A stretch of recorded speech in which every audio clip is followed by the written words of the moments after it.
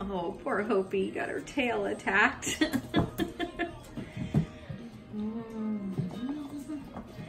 gotta get your collar on you, Lily, huh? Boys have collars on. They didn't get one on you yet.